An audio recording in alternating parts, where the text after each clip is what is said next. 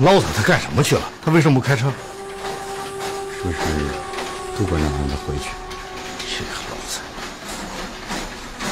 交通大队的来人了，他们很快就到了现场，我现在有点不清楚。那老板去了？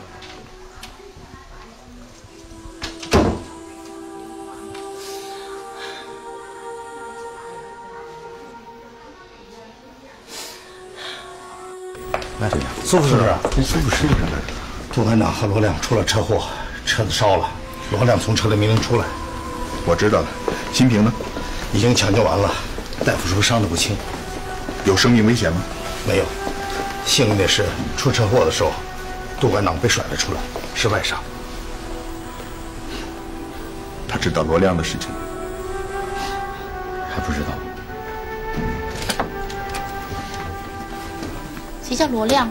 病人要见罗亮。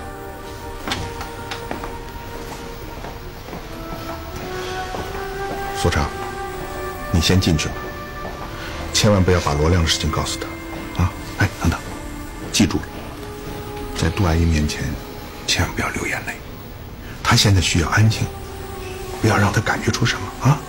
笑笑笑笑。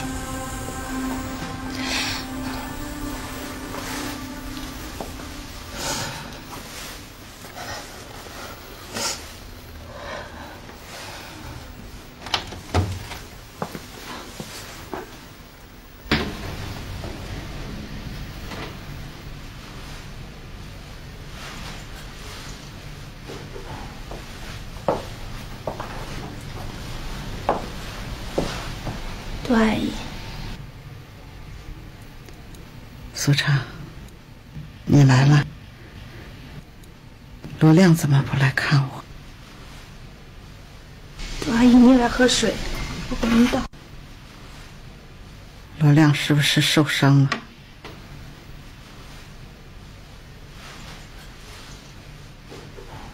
他受了点轻伤。受了点轻伤，为什么不来看我？苏畅，你跟我说实话，你别瞒着我。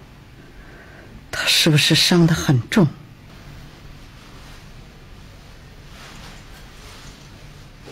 他的他的腿断了，可医生说没事了，说养一段时间就好了。他怕让您担心。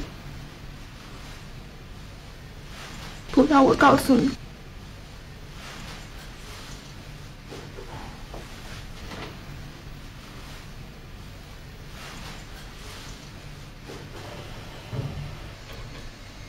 罗亮真的没事儿，没事儿的，他就住五号病房。他说等他病好了就来看。杜阿姨。我爸、霍局长、杨馆长都在外面，请他们进来吧。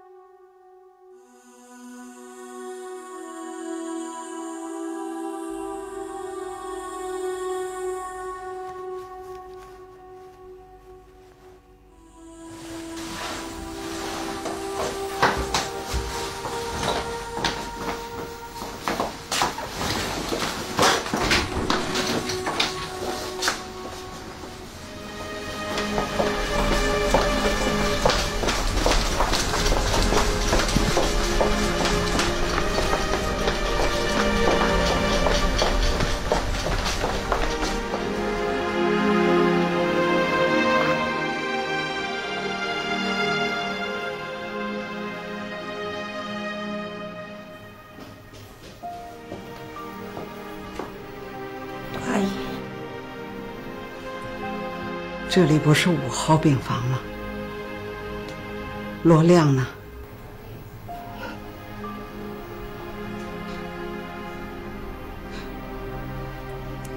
苏畅，你告诉我，罗亮怎么了？我受得了。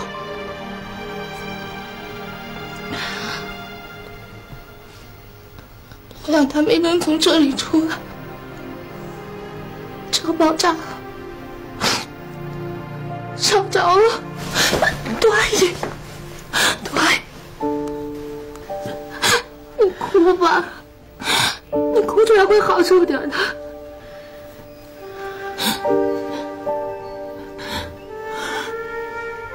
带我去见罗亮，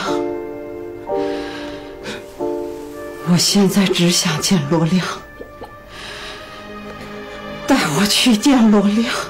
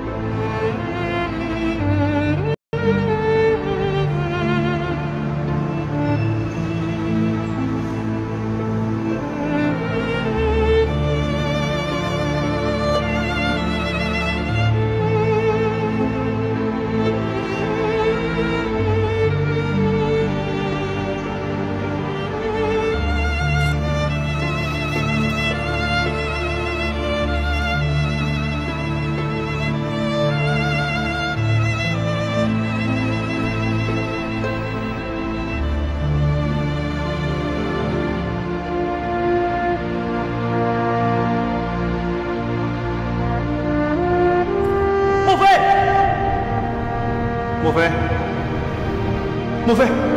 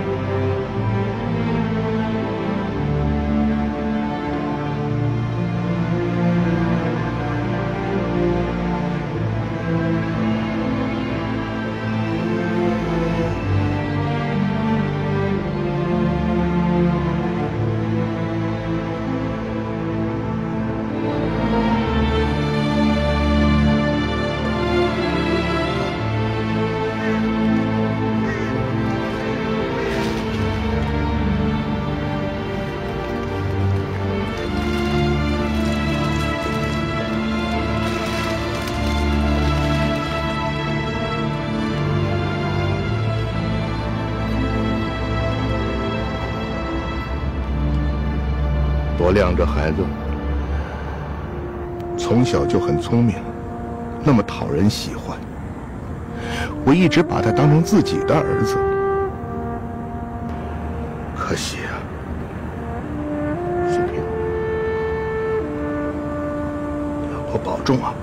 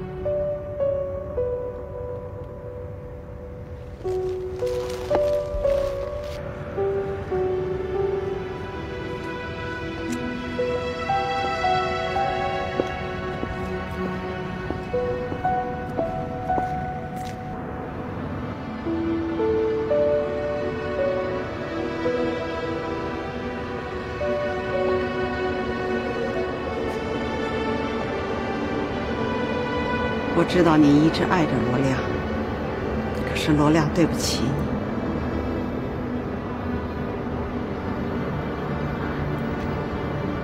我跟罗亮在一起的日子很开心。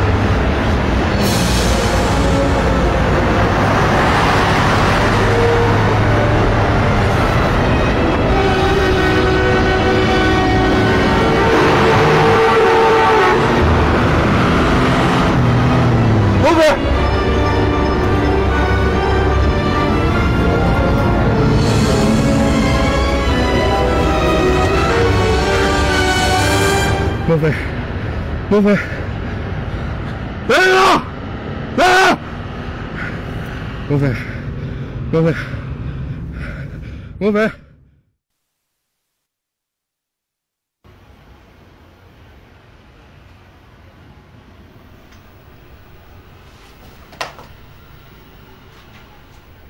全身多处骨折，而且还有轻微的脑震荡。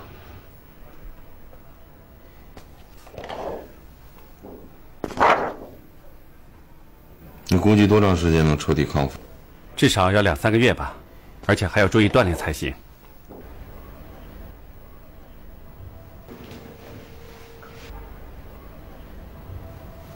用最好的药，最好的护理。啊。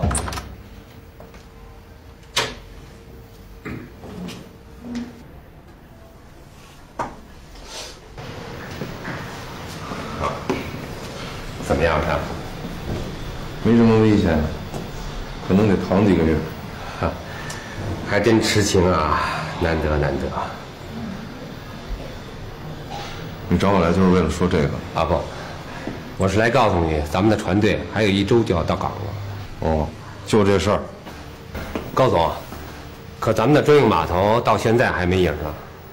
呃，咱们的货现在在公海上，要是一个星期之内还办不下来的话，就只能漂在公海上了。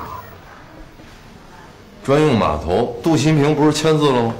他是签字了，他不是一签字就出事儿了吗？还有很多重要的环节需要他亲自去打招呼，要不然这么快，专用码头肯定办不下来。你是不是想让我给杜新平打个电话？我是担心罗亮一死，杜新平会变卦。变不了，专用码头是他亲手签的字，这事儿捅到纪委那说不过去啊。再一个，吴亮虽然死了，我看这个海关关长他还是想当下去。你让船按原计划入港吧。专用码头的手续，这个星期之内我让杜新平替咱们办好，去吧。好的。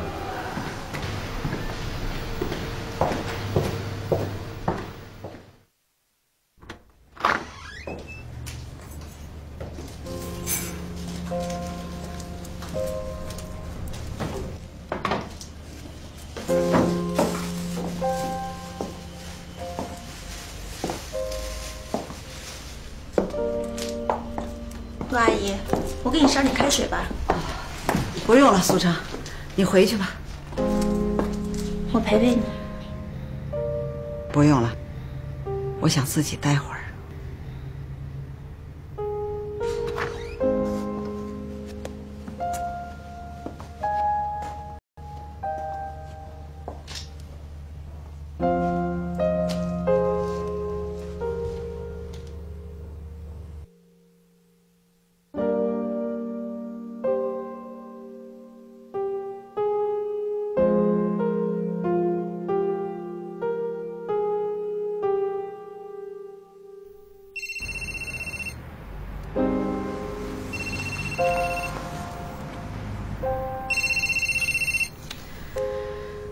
喂，哎，杜科长，高锦林，听说你出院了，我说身体恢复的可以吗？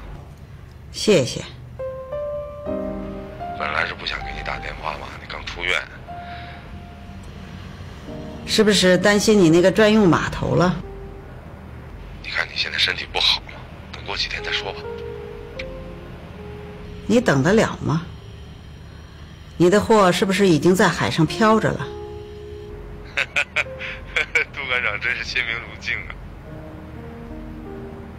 你放心，我答应的事情肯定办。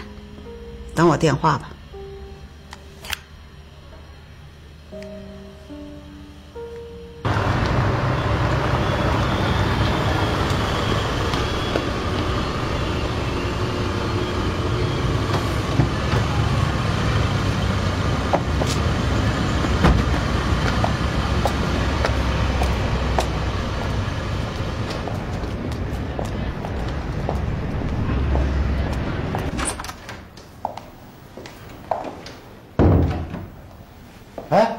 杜馆长，你怎么来了？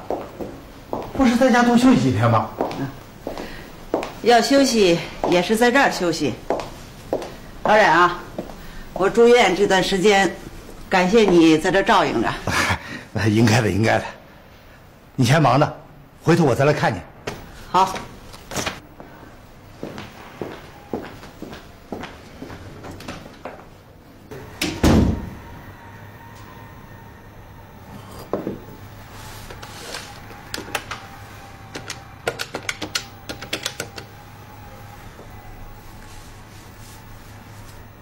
喂，老苏吗？我是新平，你下午有时间吗？我想找你聊聊。哎呀，不是让你休息吗？怎么又要谈公事呢？不，谈的就是私事儿。哦，急吗？嗯，很急，希望你无论如何抽点时间出来。那好，下午一点半你来吧。啊，好，下午见。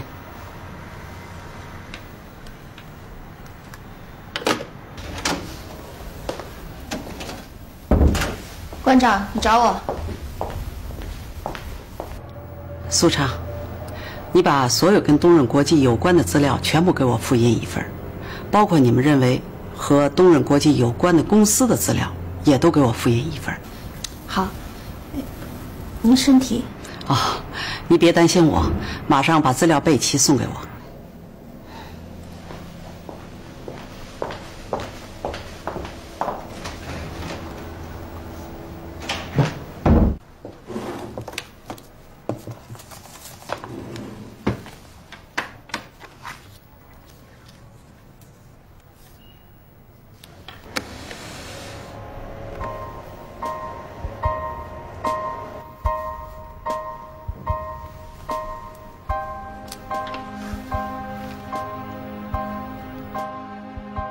总署领导，现在给你们写信的是一个罪人，一个海关的罪人。我因为自己的软弱，给了犯罪分子可乘之机。我杜新平犯下了不可饶恕的罪过。组织上信任我，让我在天港做海关关长，把守国门。可是我却辜负了组织和人民的信任。跟犯罪分子高景林做交易，让走私在自己的眼皮底下进行着。这些日子，我备受良心的折磨。也许只有自首才能换取良心的安宁。下面，我向组织上报告以高景林为首的东润国际走私集团，以及天港部分海关人员的走私情况。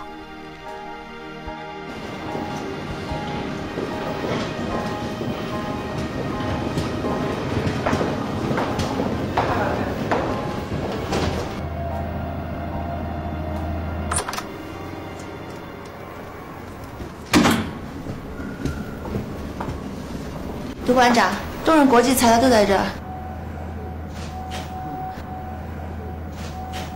这么多。杜阿姨，晚上我爸说叫你去我们家吃饭。哦。好，谢谢你爸爸。把霍局长帮我叫来。好。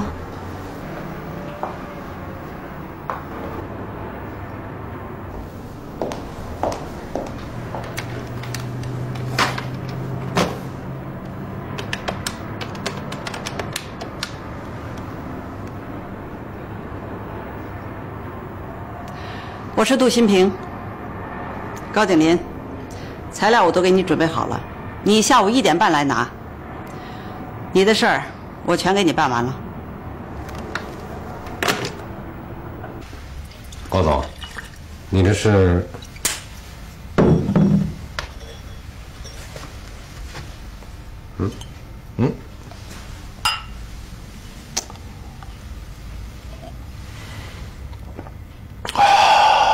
杜新平赢了，这几艘船一上岸就是几个亿的进账。天港海关现在开始姓高了。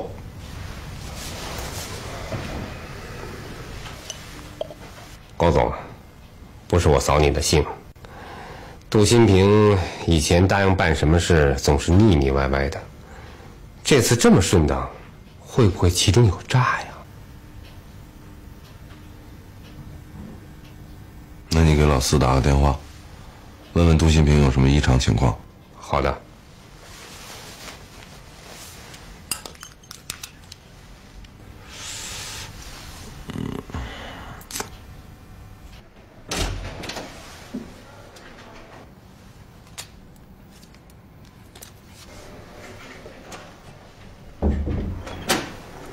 杜馆长，你这是？霍局长，下午高静林来找我，那个时候我肯定不在。你把他给我控制住。以什么罪名？走私罪、行贿罪。可是，我们现在还没有直接的证人证据啊。证人马上就有了。好吧，杜馆长，只要高锦林迈进海关大楼一步，他就甭想再出去了。还有一个人，你不能让他跨出海关大楼一步。谁？冉洞庭。冉副馆长。他的所作所为，已经不配做馆长了。抓高景林和冉洞庭的事儿，这世界上只有两个人知道，一个是我，再一个就是你霍朗民。如果他们两个人当中有一个人跑掉了，我唯你是问。我知道了，杜馆长，我霍郎民听你的。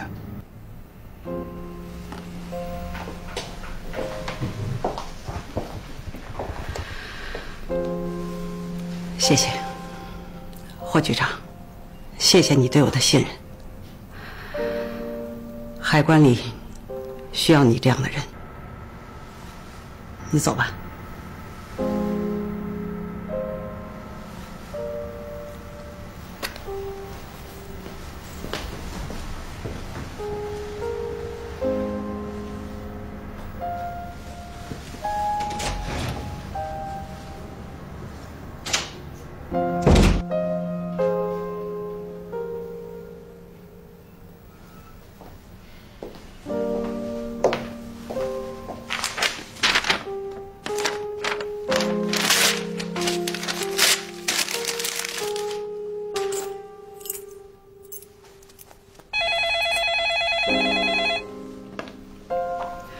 喂，您是杜新平吗？是的。罗亮是你儿子吧？是的。罗亮现在有几件小遗物在我们交警队，请你下午过来领吧。谢谢。好的。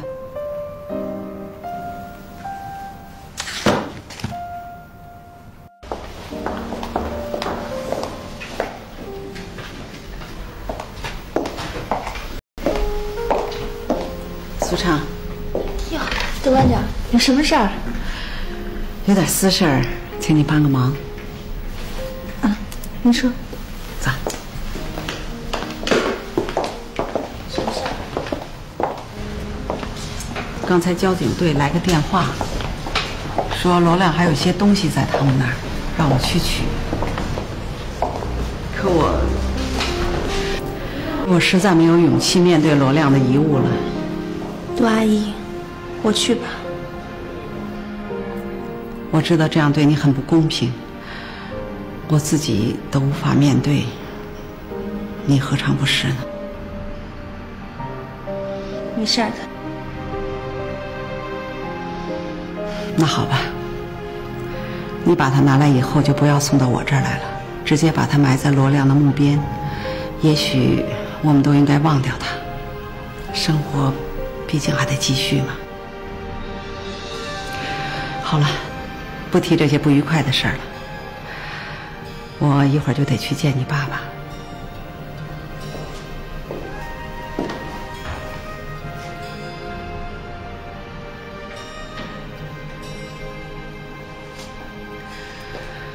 苏畅，在我手下工作好几年了，你觉得我是不是个好馆长？杜阿姨。您是天底下最称职的官长，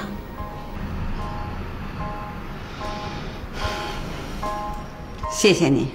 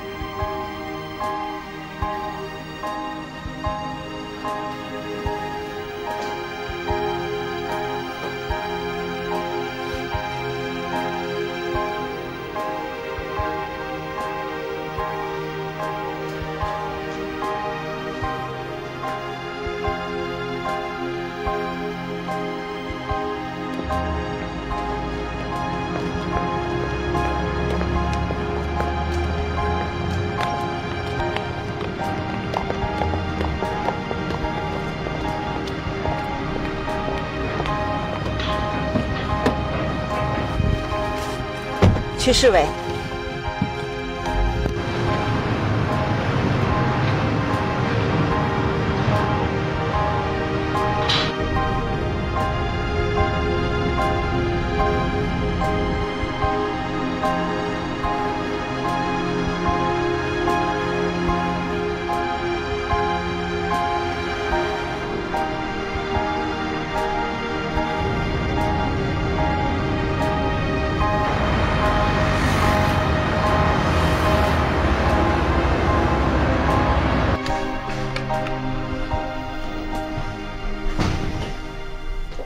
新平啊，在家多休息两天不好吗？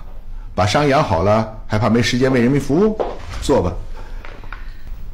老苏，你是主管公检法的副市长，对不对？怎么了，新平？我是来自首的。这是东润国际的走私材料和我的举报信。这怎么了？这是？先生包好了，可以吗？可以。啊，慢走啊！电话响半天了。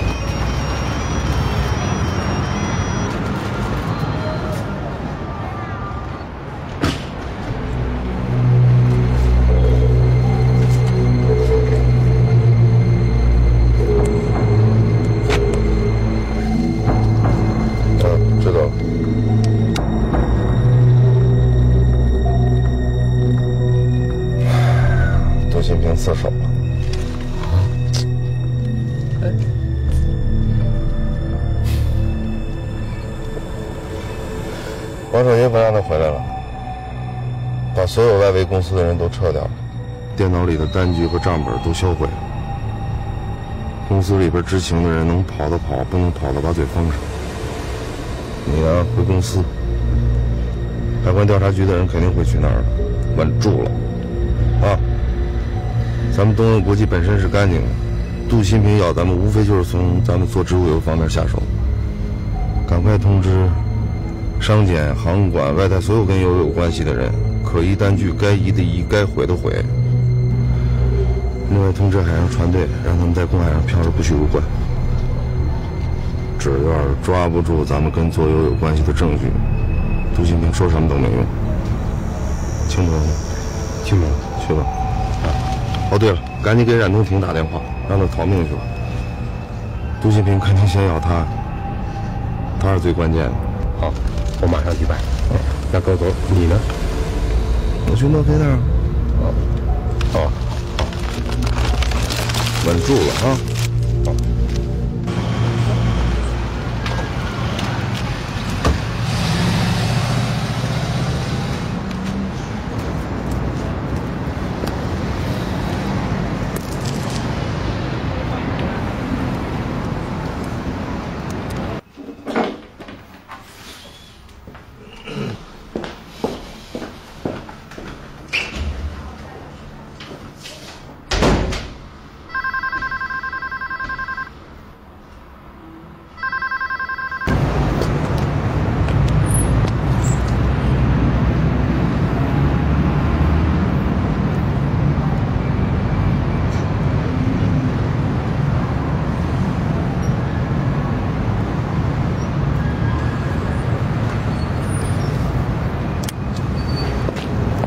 我们今天呢，开一个打击走私方面的碰头会，着重研究一下下半年的形势和我们打击走私工作的安排。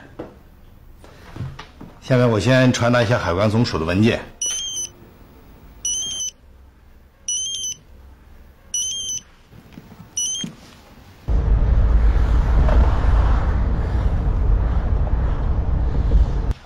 近年来，走私分子十分猖獗。更可恨的是，我们的部分海关工作人员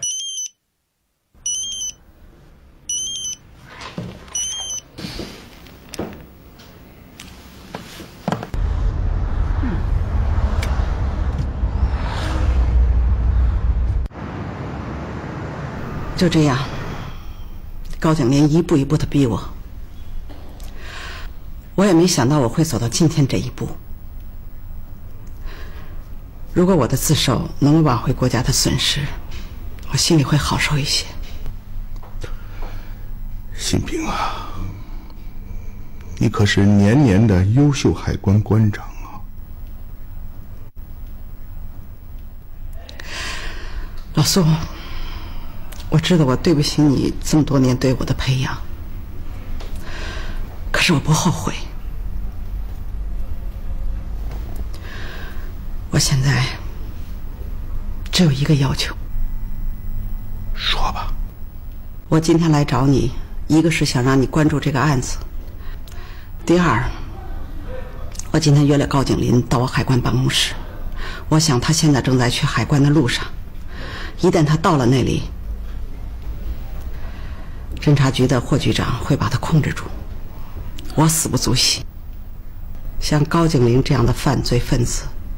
不能再让他逃避法律的制裁了，新平，这你放心，我苏向全就是拎着脑袋，也要把高锦玲绳之以法。好，谢谢，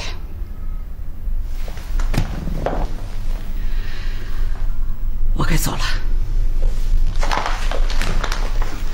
我陪你去。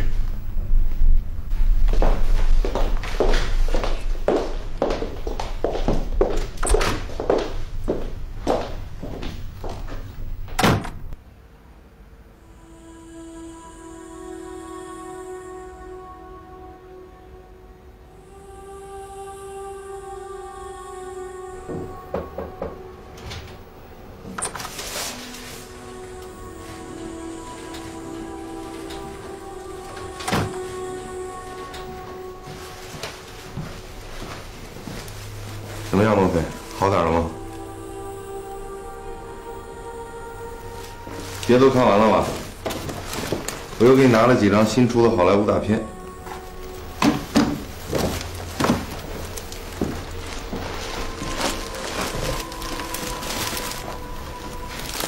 喜欢吗？高总，您这样做是没有用的。什么有用没用？我不会改变对你的看法。两码事儿。我照顾你归我照顾你，你怎么看我归你怎么看我，一码归一码。我知道你想怎么样，我对你不会有好感。嗯至少你不像以前那么讨厌我，是吧？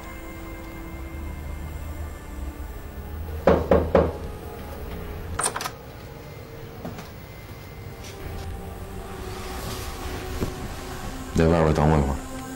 啊，好的。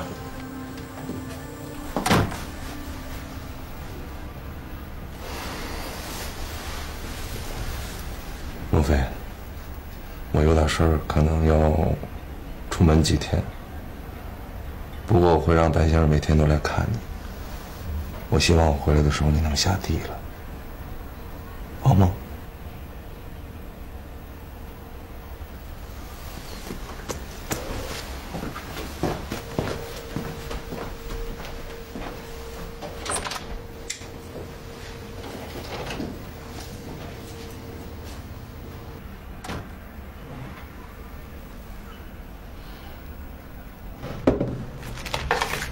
这是死者的遗物和清单，你清点一下。